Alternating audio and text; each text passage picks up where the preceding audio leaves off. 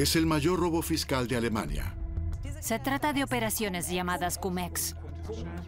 Banqueros, consultores y operadores bursátiles habrían robado miles de millones en dinero de impuestos, estafando a todos los ciudadanos contribuyentes. Ahora una fiscal está dando casa a la mafia de Cumex, investiga poderosos gerentes, banqueros y abogados de alto nivel y descubre una afinidad siniestra entre el sector financiero, el Estado y los políticos.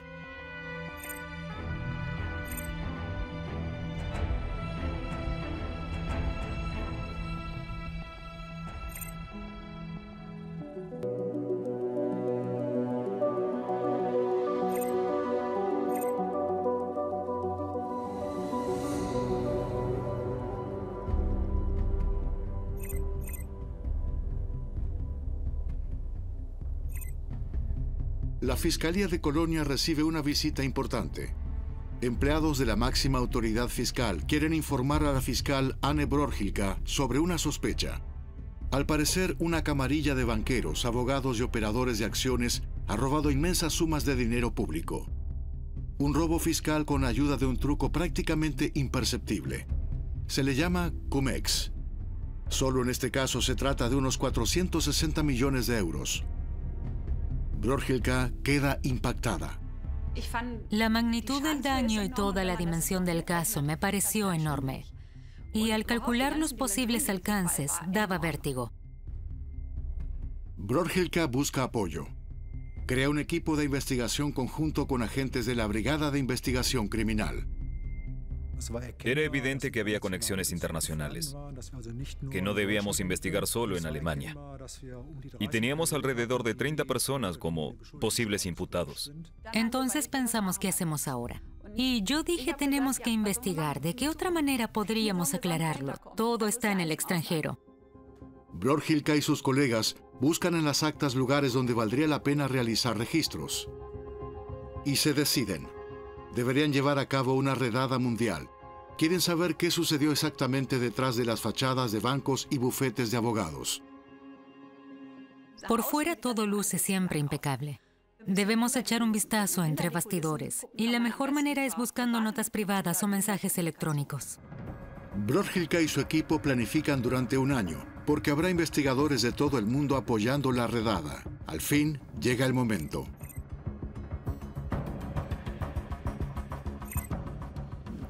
Una mañana llegué a una reunión en el centro de operaciones. Normalmente encuentras allí unas cinco personas, pero esta vez éramos 100. Ya antes había tenido procesos grandes, pero esta dimensión era enorme. En 14 países los funcionarios esperan la señal de largada desde Düsseldorf. Para que los sospechosos de la estafa de Cumex no puedan advertirse entre sí, el operativo debe realizarse al mismo tiempo, en todo el mundo, en 130 edificios. En la central teníamos una pizarra con todos los países en tres colores diferentes. Uno significaba ya están frente a la propiedad, otro están dentro y otro registro completado. Así podíamos ver el progreso de los operativos. Entonces, algunos de los semáforos en la pantalla saltan de rojo a amarillo. Se da inicio. Los agentes de policía ingresan a los primeros objetivos. Llegan mensajes de radio, salen instrucciones, cientos de investigadores registrando. Uno de los lugares de registro se encuentra en Frankfurt. Es el archivo de documentos de uno de los bufetes de abogados sospechosos, pero se niegan a entregar los archivos. Y entonces dijimos, bien, si no cooperan, enviaremos una compañía entera de agentes a registrar. Basta con esa amenaza para que todo se mueva. Esa misma noche llega la Brigada de Investigación Criminal de Düsseldorf, un camión con docenas de cajas llenas de expedientes. Provienen del bufete de Hanno Berger, uno de los abogados tributarios más renombrados del país. Conforme avanzamos, se hizo evidente la presencia del Dr. Berger en el mercado alemán y la cantidad de proyectos que había asesorado e iniciado. Berger niega con vehemencia haber actuado de forma criminal. Ya había huido a Suiza en 2012, cuando la Fiscalía de Frankfurt lo tuvo en la mira por Cumex. Hoy ya no quiere dar entrevistas. Pero en 2015 lo visitó un reportero. Y según Berger nos asegura, lo que dijo entonces sigue en pie. Considera que la investigación en su contra es un gran escándalo. Por supuesto que me sorprendió mucho. No hay duda. Es lógico, porque todos en nuestro bufete pensábamos que habíamos actuado de manera completamente legal. Entonces la opinión de Berger tenía peso en su ramo. Se le consideraba una eminencia. Alguna vez estuvo del lado del Estado, como un temido auditor bancario en Frankfurt. Luego cambió de bando. Era considerado uno de los mejores asesores tributarios porque sabía encontrar para su clientela lagunas en las leyes fiscales. Entendíamos que en el derecho fiscal se puede hacer lo que está permitido por la ley y que no está expresamente prohibido. Durante años, Berger y sus colegas crearon fondos CUMEX, en los que participaban bancos e inversionistas adinerados, a quienes ellos mismos proveían de los necesarios dictámenes fiscales positivos. No había ninguna opinión publicada que dijera lo contrario, que dijera que esas transacciones CUMEX eran ilegales. De hecho, los legisladores habían intentado durante décadas detener las operaciones CUMEX, sin éxito. Berger y todo el sector financiero se remiten a supuestos vacíos legales. Y como la legislatura no los habría subsanado, el negocio sería legal. ¿Es cierto? ¿Son Berger y todos los demás operadores de Cumex solo víctimas de los agentes del orden, como afirman?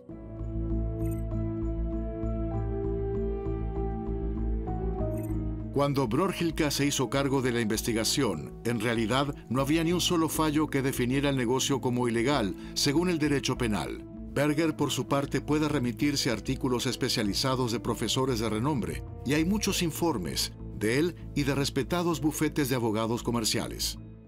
Lógicamente prepararon una justificación. Tomaron pasajes de ciertas sentencias judiciales, los sacaron de contexto y armaron toda su teoría a partir de ellos. Las lagunas que deja la ley por descuido de los legisladores también se pueden aprovechar. Pero por otro lado, siempre hay que preguntarse, ¿es legal aprovecharse de eso? Para los agentes del orden, Cumex es sencillamente un fraude multimillonario que funciona así. Una vez al año las sociedades anónimas distribuyen parte de sus ganancias a sus accionistas, los dividendos. El banco de la sociedad paga los impuestos por estos ingresos a la oficina de impuestos. El accionista recibe un certificado de su banco de que ha pagado los impuestos. Este certificado tiene un valor monetario el accionista puede presentarlo en la oficina de impuestos y así recuperar dinero. Este certificado es la clave. En las transacciones de CUMEX, los agentes bursátiles realizan, el día en que se distribuye el dividendo, una operación especial. Simulan un cambio de propietario de las acciones, convincente pero falso.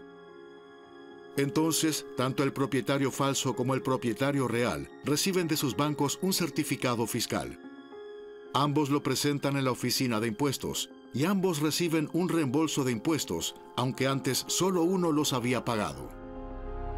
Este es el truco básico. La ganancia se reparte y como lo han hecho millones de veces, sumas multimillonarias han fluido del tesoro público a los banqueros y operadores de bolsa. Me pareció todo tan claro que ni por un segundo pensé si podía ser legítimo. Es evidente que no puede serlo. Con esta apreciación, Brorgilka pone a todo el sector en su contra. Sin embargo, ella sabe que en realidad los acusados están muy nerviosos. La fiscal intervino teléfonos, incluido el de Hanno Berger.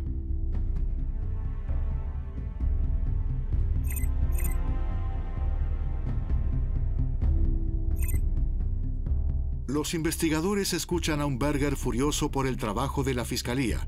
Habla de una campaña de exterminio en su contra y de que piensa defenderse y formar un frente de abogados.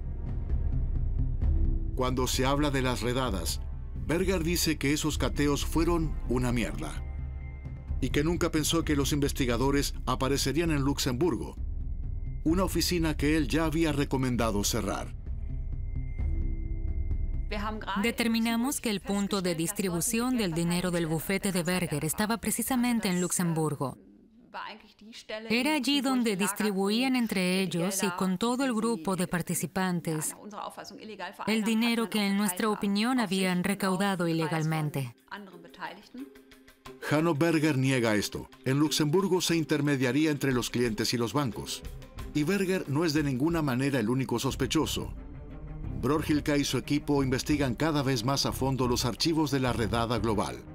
El tiempo apremia. Los delitos podrían prescribir. Cada vez se hace más evidente ante los ojos de los investigadores una gigantesca red con miles de participantes de todo el sector financiero. Gracias a los registros, se fue aclarando cuáles instituciones financieras participaron activamente en este sistema, qué papel desempeñaron en el negocio Cumex, quién los inició, quién los proporcionó, quién los impulsó. En cada operación el trabajo estaba muy repartido. Había de 50 a 100 personas involucradas en cada caso. Cuando el trabajo se divide entre tantos, es lógico que uno diga que no sabe lo que hizo el otro. Y también significa que nosotros debemos demostrar que actuaron juntos, que había un acuerdo. Cada vez está más claro para la fiscal que los expedientes incautados no serán suficientes para condenar a los involucrados. También necesita que los sospechosos cambien de bando y confiesen. Testigos clave, sin falta. Y Hanno Berger se encuentra en Suiza. ¿Qué tal si precisamente alguien de su bufete quisiera ser uno de esos testigos? En un SMS que está en poder de varios medios de comunicación, Berger se dirige a uno de sus socios. He revisado los expedientes que puso a nuestra disposición la Fiscalía de Colonia. A menos que se tomen medidas drásticas, no tendremos ninguna posibilidad de salir ilesos de todo esto. El proceso es excepcional y sumamente político. Solo nos servirá una espada afilada empuñada conjuntamente. Saludos, Hanno. ¿Puede mantener Berger las filas cerradas?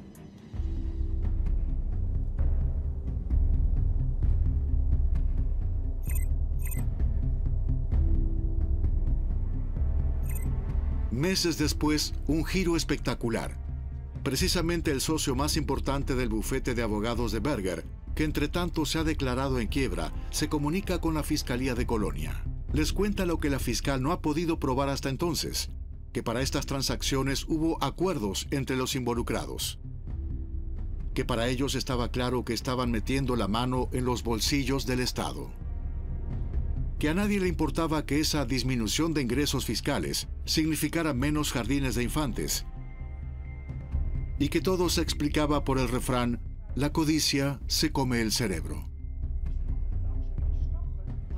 Lo que me pareció notable, y él lo describió de manera impresionante, es esa arrogancia que adquirieron, que miraban a los demás desde su undécimo piso, desde arriba, en el verdadero sentido de la palabra, y se sentían sublimes. Yo estoy arriba, no tengo nada que ver con esos de abajo. Por mi parte pueden esforzarse y pagar impuestos, pero nosotros jugamos en otra liga. Brorgilka profundiza y se entera cada vez más sobre el sistema CUMEX.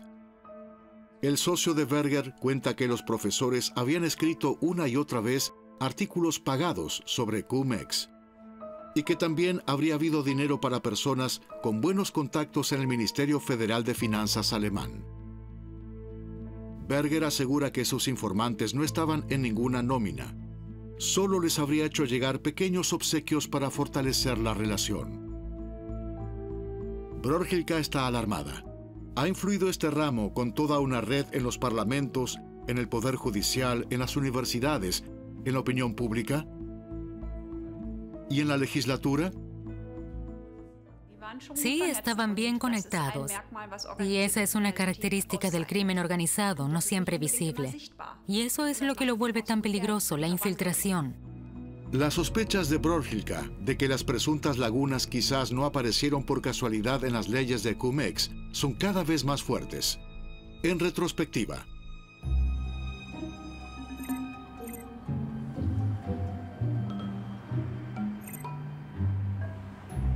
En 2002, el Ministerio Federal de Finanzas recibió una advertencia de la Asociación Bancaria Alemana. En ciertas transacciones, el Estado reembolsaría más impuestos de los que habría recaudado. Para este caso especial, se requeriría una regulación de la ley tributaria. ¿Fue realmente una advertencia? Para impedir las transacciones CUMEX, no fue una advertencia. Cuidado, si están realizando negocios sucios, deberías hacer algo. Sino que en la asociación bancaria se dijo, corremos el riesgo de que los bancos que participan al final deban responder. Y querían deshacerse de ese riesgo. La asociación bancaria niega esto. Y en el ministerio, según dicen más tarde, no habían comprendido aquella carta. Se quedó por lo pronto olvidada. A partir de 2004, el ministerio recibe finalmente apoyo de un juez de finanzas, Arnold Ramakers, una autoridad en derecho tributario y en adelante el experto para esta nueva ley recomendada por la Asociación Bancaria. Ahora se discute más a fondo el contenido exacto. Lo extraño es que evidentemente el sector siempre está bien informado sobre cada paso. También el bufete de Hanno Berger.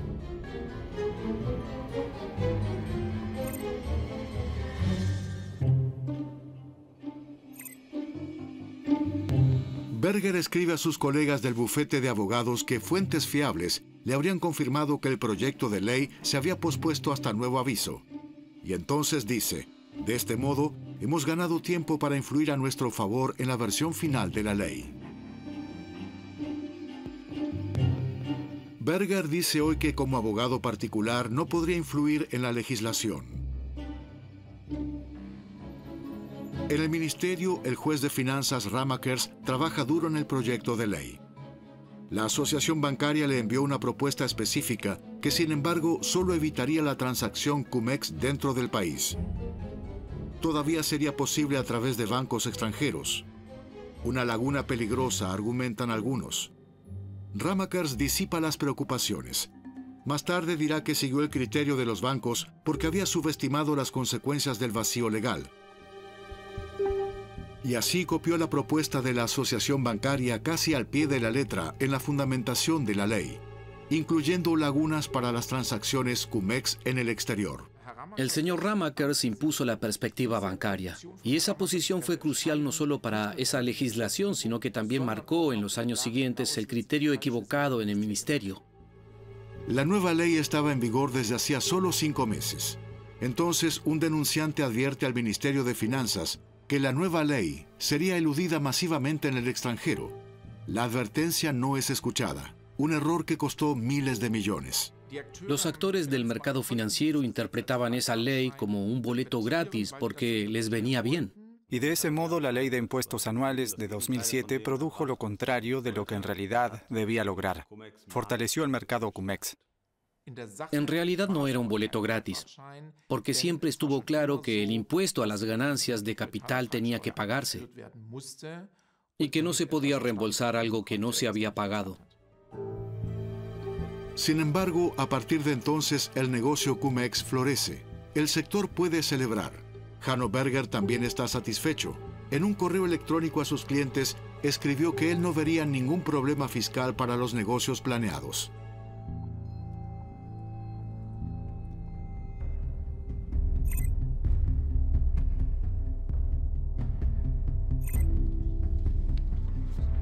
Diez años después, Brorhilka está investigando en detalle estos casos, cada uno.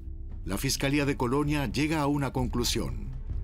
En realidad nunca existió un vacío legal. Si el robo está prohibido, está prohibido. Se creó un ramo de negocios que se ocupaba de eludir la ley malentendiendo el texto. Si decimos que el robo de bolsos está prohibido, entonces ellos dicen, pero no dicen nada sobre los bolsos rojos. Y si decimos está bien también los rojos, entonces dicen, allí no dicen nada de los verdes. Y decimos bien rojo y verde, entonces empiezan con los bolsos a cuadros. Con sus investigaciones, su equipo descubre un sector poderoso y floreciente, que incluye abogados de los bufetes más importantes del mundo y cientos de fondos y bancos, incluidos los más importantes del sector financiero internacional. También están los directivos de los dos mayores bancos de Alemania. Incluso bancos estatales se embolsaron dinero de los impuestos alemanes. Los bancos involucrados no comentan sobre la investigación en curso. Cuando se les pregunta, todos aseguran que cooperarán con las autoridades. Pero Brorgilka tuvo otras experiencias. A menudo ocurría que al hacer un registro aparecían de inmediato montones de abogados. Nosotros éramos solo cinco o seis y ellos tenían 50 o 60 abogados en la sala. En salas enormes formaban una U de abogados alrededor de nosotros y otra enorme U de abogados detrás y otro grupo junto a la pared, para que solo su mera presencia nos amedrentara un poco. Sin embargo, finalmente los primeros bancos empiezan a doblegarse y proponen un trato, cese de la investigación a cambio de una multa. Para Brorgilka esto no entra en consideración. Lógicamente esto es lo que querían los bancos. No tenían ningún interés en que investigáramos hasta el final y que acusáramos a más gente. Desde el punto de vista de los bancos, era lógico que intentaran una y otra vez interrumpirlo y detenerlo, pero nosotros no teníamos ningún motivo racional para hacerlo. Sería como decirle a un ladrón de bancos, bien, si me devuelves el 80% del botín, lo dejamos así. Eso socava la confianza en el Estado de Derecho, porque entonces damos vida a un cierto tipo de delincuencia que, en definitiva, puede comprar su libertad. No estamos en un bazar, sino que se trata de si alguien ha cometido un delito o no. Ya que aquí se ha empleado tanta energía criminal, también se trata de castigarla. Pero, ¿logrará esto el Estado? Después de todo, los legisladores habían fracasado una y otra vez en impedir estas transacciones. Y una y otra vez las autoridades buscaron asesoramiento precisamente del sector que realizaba estas transacciones. El granjero le pregunta al zorro. En retrospectiva,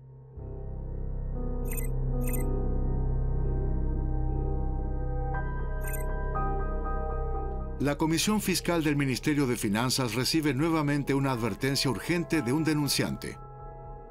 Bancos extranjeros están saqueando sistemáticamente el fisco alemán. Podría resultar en una pérdida potencial de hasta 12 mil millones de euros. ¿12 mil millones de euros robados?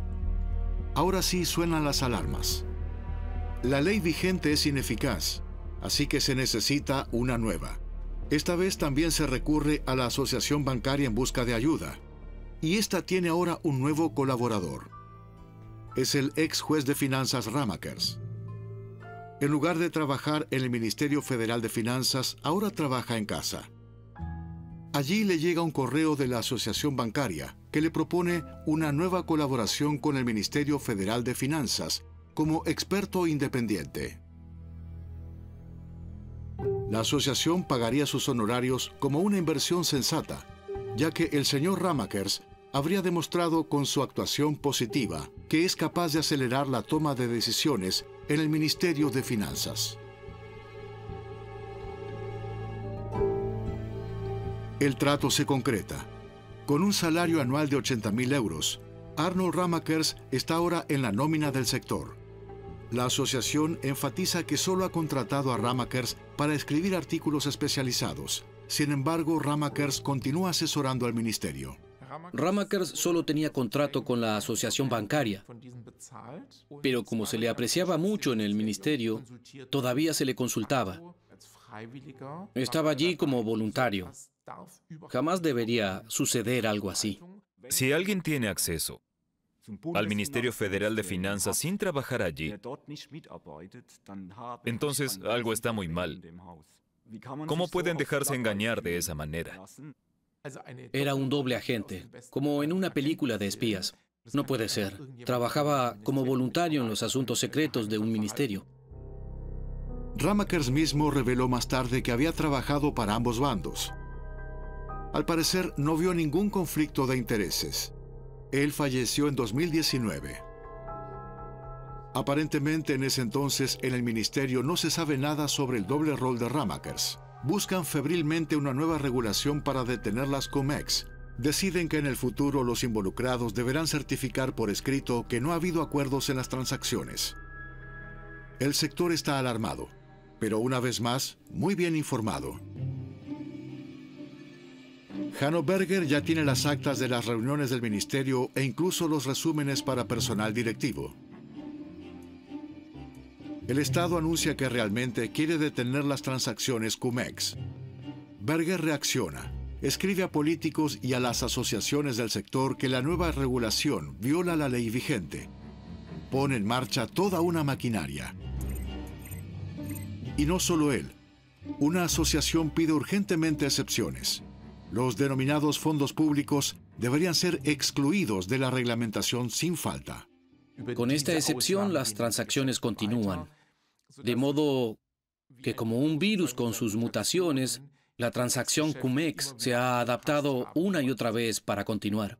Poco después de que la legislatura haya aprobado la nueva regla, incluida la excepción, Berger recibe la grata noticia de un socio comercial de que todavía seguiría abierta una gran puerta. Recién tres años después, en 2012, la legislación logra poner fin a CUMEX, diez años después del primer indicio del robo de impuestos. Allí termina lucrativo negocio también para Hanno Berger. Las fiscalías de Frankfurt y Colonia ya han presentado cargos contra él. Aún no hay una sentencia. Está en vigor la presunción de inocencia. El papel del Ministerio Federal de Finanzas será después objeto de una comisión de investigación parlamentaria las fracciones parlamentarias del gobierno concluirán que las autoridades no habrían cometido ningún error. Pero ¿se ha acabado realmente el robo de impuestos?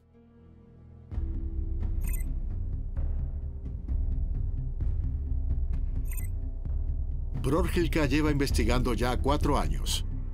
Ha llevado a cabo más redadas y ha interrogado a nuevos testigos clave. Sobre todo, hay una información que no puede sacarse de la cabeza. Hace tiempo que el sector habría concebido nuevos modelos CUMEX. Entonces en ese momento nos describió una estructura tan compleja que en la vida se nos hubiese ocurrido. Es decir, tenía unos 25 pasos intermedios. No lo hubiésemos visto nunca si alguien no nos lo hubiese explicado. Así que el pérfido robo de impuestos continúa. Es demasiado lucrativo. Y los operadores de CUMEX siempre están un paso por delante de las autoridades. Allí hay personas altamente capacitadas cuyo trabajo no es otro que planear esos delitos en todo el mundo. Por eso era ingenuo pensar que a partir de 2012, cuando cambió el sistema en nuestro país, no continuarían. Cuando se acaba un modelo de negocio, se piensa en otro nuevo. Brodhilka ahora también está investigando los nuevos modelos. En su persecución contra sospechosos de Cumex, la fiscal sobrepasa todas las dimensiones. Iniciará 86 procesos penales e investigará casi mil sospechosos en todo el mundo. Los legisladores habían fracasado durante décadas. Ahora Brorgilka tiene que esclarecer arduamente el fraude. ¿Puede demostrar el Poder Judicial que el Estado también es capaz de defenderse? Sin embargo, ¿cómo juzgarán los jueces? ¿Era realmente ilegal el modelo Cumex original? El primer proceso de Brorgilka lo decidirá.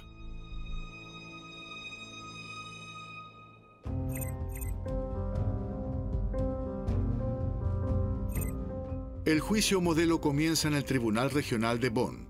Se trata de sentar jurisprudencia. El sector financiero mundial sigue de cerca los sucesos. Hasta ese momento no existía una clasificación penal.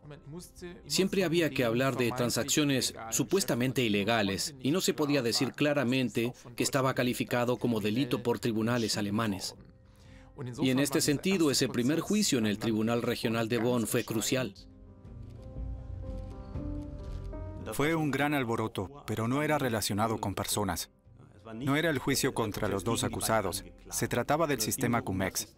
Esa era la particularidad. En el primer juicio de CUMEX, están ante el tribunal dos de los testigos claves de Brorgilka. Todo depende de sus declaraciones. Aún había que ver si decidían testificar también públicamente en el proceso. No estaban obligados a hacerlo. Brorgilka no tiene medios para obligar a los testigos clave a declarar y tampoco quiero ofrecerles un trato. Cumex debe ser castigado. Teniendo en cuenta que yo era la fiscal, estaba claro que no podía predecir cómo saldrían ellos del proceso, porque no tenía ni idea de cómo lo vería el tribunal. El proceso dura siete meses. Ambos testigos clave reciben sentencias de libertad condicional. uno de ellos debe reembolsar 14 millones de euros. La sentencia es clara. Cumex es ilegal.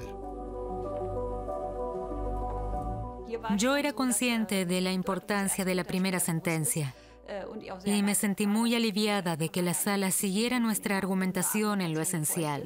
No solo en ese caso particular, pues este era solo un fallo de muchos que estaban por venir. Pero este proceso no es realmente un final feliz. No para Brorgilka. No había podido olvidar una cierta declaración testimonial.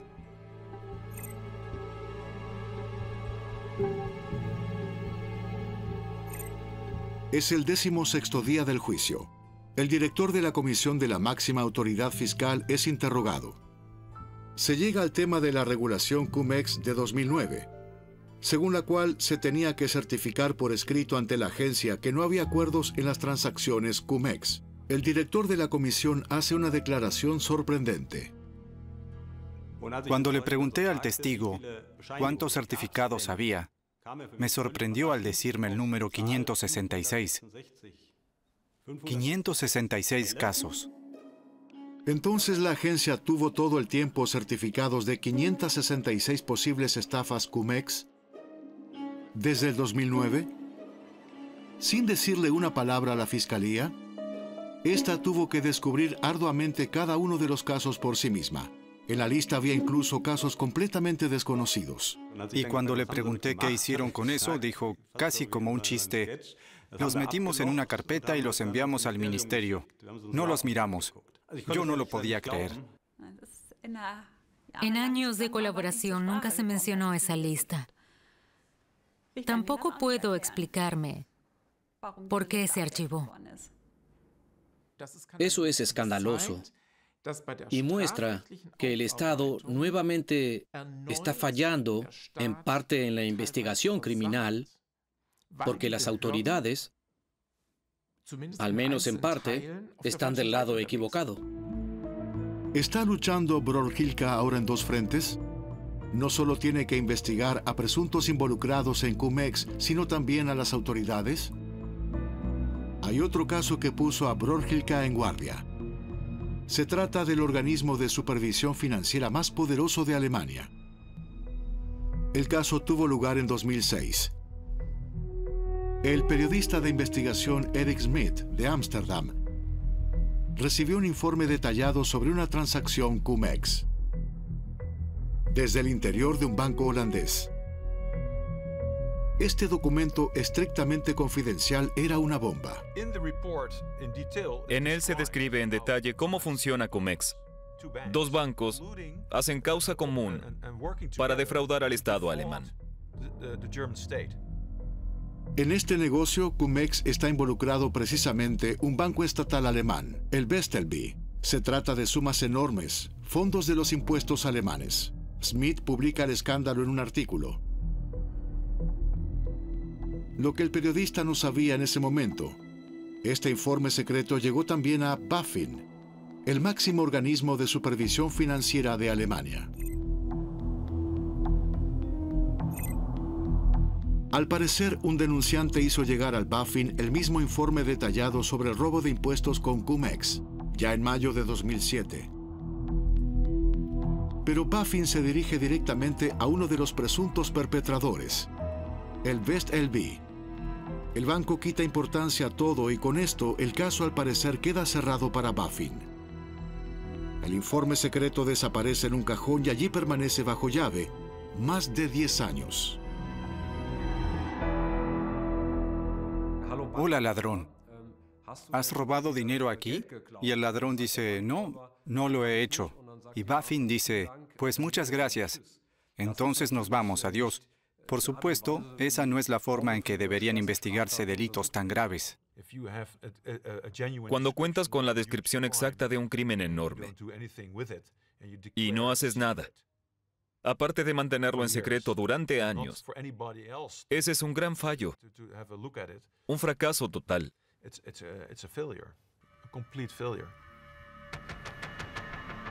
Baffin explica hoy que estaban obligados a mantener la discreción y que no les estaba permitido informar a la justicia. La Fiscalía de Colonia refuta esto vehementemente. Cuando se trata de delitos, creo que está claro que lógicamente se debe transmitir la información. Por lo tanto, ya en 2007 podría, incluso debería, haberse investigado, aún antes de que comenzara el gran boom de los CUMEX y el robo de impuestos floreciera. No hubiesen hecho falta los años de investigación de Brorhilka y se podría haber salvado dinero de los impuestos. Los daños se estiman en más de 10 mil millones. Pero el Estado alemán y sus organismos no lo impidieron. Para el ciudadano que paga sus impuestos, CUMEX es una bofetada. Cuando el dinero de los impuestos no se usa para bienes públicos, sino que algunos que ya están ganando muy buen dinero, logran desviar millones para sí mismos y quizá para comprar un yate con eso, entonces, ¿cómo le puedo decir a un ciudadano alemán que debe pagar sus impuestos? ¿Puedo seguir confiando en las instituciones estatales? Si revisan en detalle cada factura de cada obrero, pero ante un fraude de millones como este miran para otro lado. En todo caso, la fiscal Brorhilka desconfía cada vez más, porque en su investigación de repente se ha encontrado con una siniestra proximidad entre este sector multimillonario y los políticos.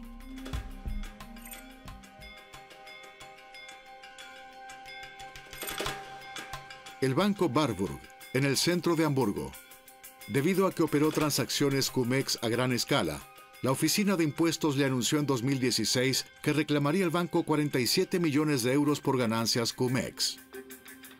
Pero entonces sucede algo raro. Después de algunas idas y venidas, la Oficina de Impuestos cambia de opinión y Barburg puede quedarse con las ganancias de Cumex. ¿Tienen algo que ver los contactos del director del banco, Christian Olearius?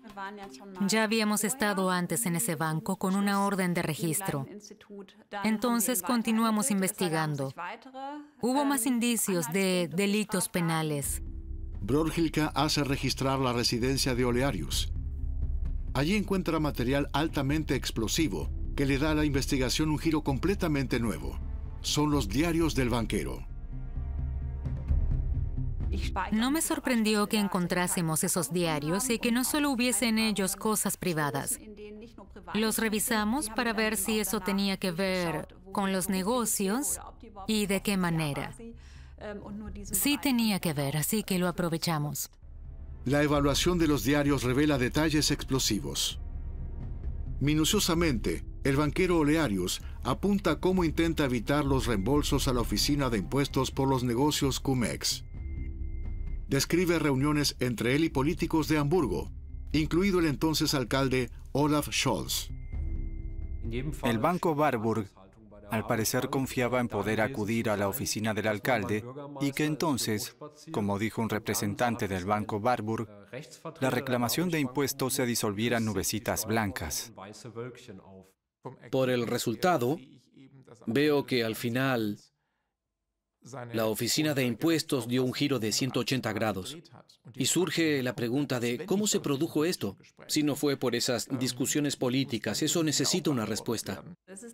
No es mi trabajo comentar los aspectos políticos. Somos persecutores penales y eso es lo único que nos interesa. Y no puedo decir nada sobre el estado de la investigación. Las investigaciones de Brorhilka no están dirigidas contra el actual ministro de Finanzas Olaf Scholz. No hay sospechas en su contra. Él y todos los demás políticos involucrados niegan cualquier influencia, al igual que la Oficina de Impuestos responsable. El banco Barburg ha reembolsado ya todo el dinero de Cumex, pero presentó una demanda por esto. Un comité investigador del Parlamento de Hamburgo deberá resolver ahora el caso. En el curso de sus investigaciones, Brorhilka quería registrar incluso la Oficina de Impuestos de Hamburgo. Sin embargo, esta medida era controvertida en su propia fiscalía y se suspendió. Brorhilka necesitará aún décadas para terminar sus investigaciones. Investigaciones que ya ahora superan todo límite. El escándalo Cumex, por lo que se ve, está lejos de terminar. Al contrario, la verdadera reaparición de este asunto apenas ha comenzado. Y todo adquiere cada vez más claramente una dimensión desconocida. Lo que ocurre allí es crimen organizado. No se diferencia en nada del nivel de delincuencia de los narcotraficantes, de la delincuencia de los clanes, del saqueo de cajeros automáticos. Es todo igualmente criminal. Es solo otro tipo de acto. Y por eso hay que mirar bien los hechos. Hay más de mil acusados que han saqueado nuestro Estado durante muchos años. Tenemos que tomarnos esto tan en serio como nos tomamos al crimen organizado. Si quisiéramos estar al día con esto, probablemente tendríamos que usar mecanismos similares a los que usan los hackers. Y tendríamos que tener informantes que nos mantengan al tanto, porque como institución no tenemos la capacidad para concebir y anticipar las maniobras de los criminales. Tendríamos que estar a su nivel. Gracias a la persistencia de Brorhilka, la élite financiera tiene que asumir su responsabilidad. La fiscal rompió con una práctica habitual, que en Alemania pueda comprarse la libertad de delitos financieros pagando multas. Un paso importante que demuestra que el Estado de Derecho funciona. No se trata solo de un escándalo financiero, también se trata de un problema de base en una democracia, que evidentemente no somos todos iguales, porque ciertas personalidades, ciertas instituciones piensan que pueden salirse con la suya a pesar de haber cometido delitos. Y es por eso que esto no se trata solo de finanzas, no se trata solo de CUMEX, se trata de la democracia. Un sector financiero fuera de control amenaza la base misma del Estado, la confianza de sus ciudadanos. Hay mucho en juego.